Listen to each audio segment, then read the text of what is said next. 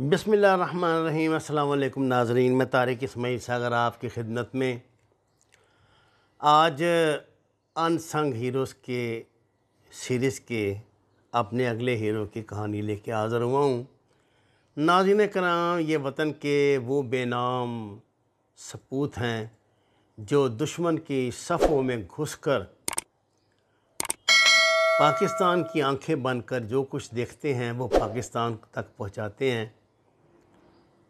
और दुश्मन को अंधा करके, या तो वहीं शहीद हो जाते हैं, अगर किस्मत बहुत अच्छी हो तो ज़िंदा बच के पाकिस्तान पहुँच जाते हैं। ऐसे ही एक अनसंग हीरो, सैयद सलीम वास की कहानी आपको सुना रहा हूँ। आपने नाम तो सुना होगा। मुमकिन है मैं कुछ डिटेल से आपको गुजारिशात कर सकूँ। नाजन कराम,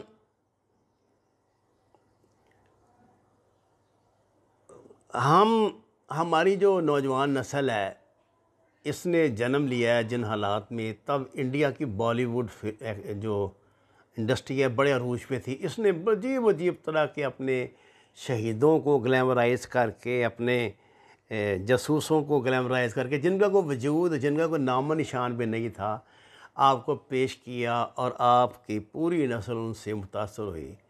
हैरत की बात यह है कि इन हीरोज़ की कहानियाँ हम पर्दा स्क्रीन पर भी नहीं ला सके। इससे बड़ी हमारी क्या बदकिस्मती हो सकती है? हमारे मुल्क की सेंसर पॉलिसी ऐसी थी कि हम इस पर कुछ बना नहीं सकें। मैंने दहशत गर्द को बड़ी हिम्मत से किसी न किसी तरह तैयार करवाया था। पूरी तेरह किस्तें इसके पीटीवी के डब्बों में बंद पड़ी हैं। आज तक किसी को ख्याल ही नहीं आता। हालाँकि देखिए कितनी दहशत गर्दी हो रही है और सारी वो कराची की कहानी है।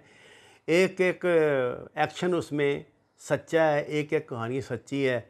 लेकिन पॉलिसियाँ इनकी, पॉलिसी भी क्या आपके ज़ाती तल्लक होते हैं, मैं इससे अलावा और क्या कर सकूँ?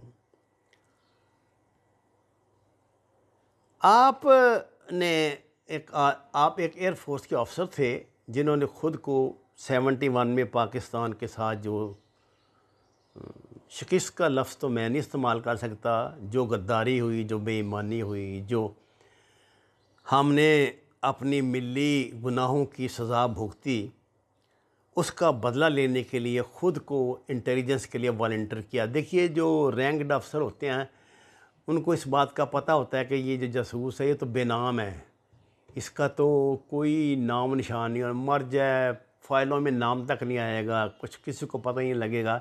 लेकिन इस बंदे ने ख़ुद को आ, किया और ये ट्रेनिंग लेने के बाद दो साल ट्रेनिंग के बाद ये विनोद चोपड़ा के नाम से इंडिया में इन्होंने एंट्री डाली। आप दिल्ली गोरखपुर लखनऊ देहरादून और मुंबई में कामयाब मिशन अंजाम दिए। ये पाकिस्तान के एक बहुत कामयाब तरीन जासूस लिए थे कि इन्होंने बड़ी मतलब ज़रूरत के साथ जो इंडिया का अंडरवर्ल्ड है, उससे रबते कायम कर लिए थे। और ख़ुद को इन्होंने एक बहुत बड़ा ताजर बनाया हुआ था। और दूसरी भी दो नंबरियाँ जो अडॉप्ट की जाती हैं की हुई थी। और कहा जाता है कि आप इंडियन जो अफसर मेस था उसके एक मुस्तकिल यानी विज़िटर थे और आपके उनकी जो बड़े बड़े अफसर्स की ख़वातीन जो उनके घरों, उनसे इसलिए खसूस ताल्लुक थे कि आपने पॉमिस्ट्री का जो फ़न है वो उन पर आजमाया था और ख़ासा कामयाबी से आजमाया था। आप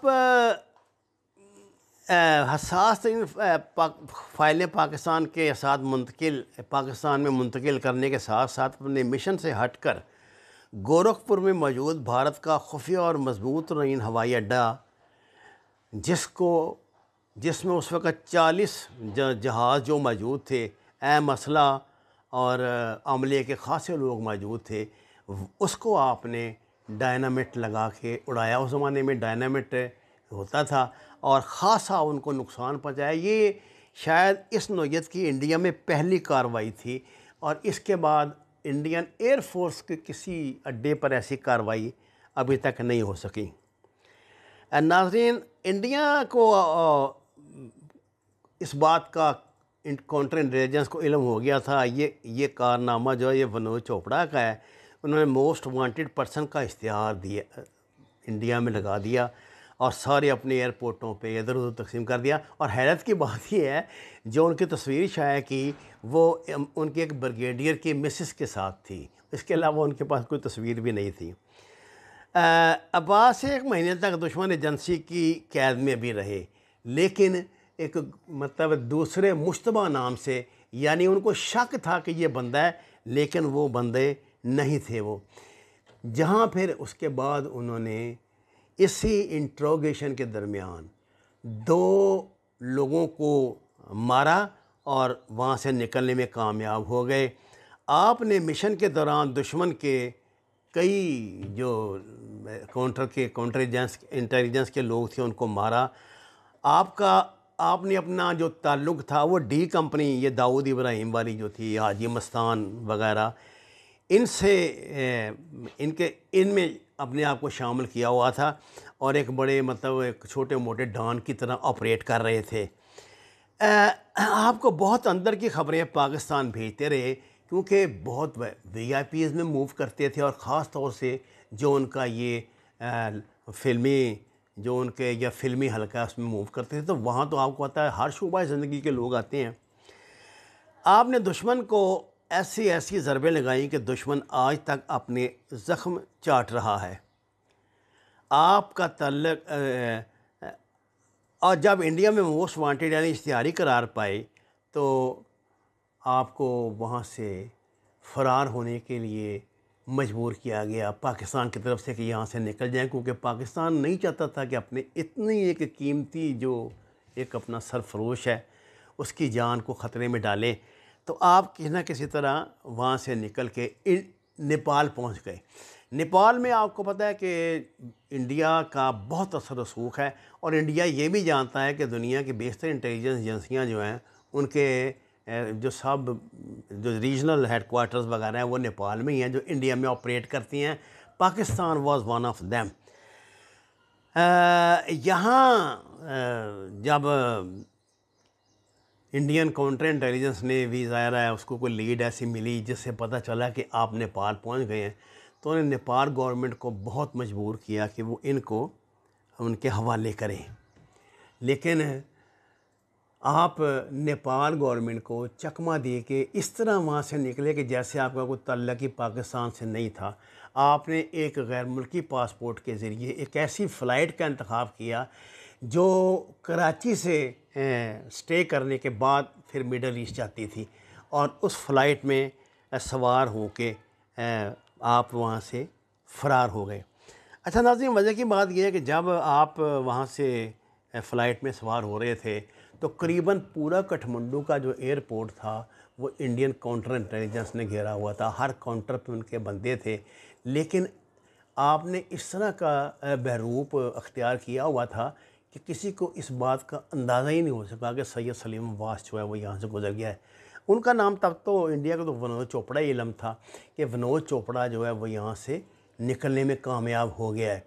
आप जब जहाज़ में सवार हो चुके, तब एक जो उनकी काउंटर की गर्ल थी जो वहाँ पे रा की, एक वहाँ सोर्स थी लड़की रा की, जो खुद रहा की अफसर थी और किसी कवर में वहाँ कठमंडू एयरपोर्ट पर काम कर रही थी। उसको शक गुजरा कि जैसे एक एंट्री उससे, उस उस फ़्लाइट में गलत हुई, क्योंकि वो बार बार जो फ़्लाइट में लोग सवार हो रहे थे, उनको चेक करते थे। ऐसे तो कोई इंटरनेशनल इसी एयरपोर्ट पे किसी को नहीं ना पूछ सकता। जब ये जहाज़ टेक ऑफ़ कर गया टेक ऑफ़ कर रहा था तो इंडिया को शक पड़ गया कि इस जहाज़ में मनोज चोपड़ा फ़रार हो रहा है।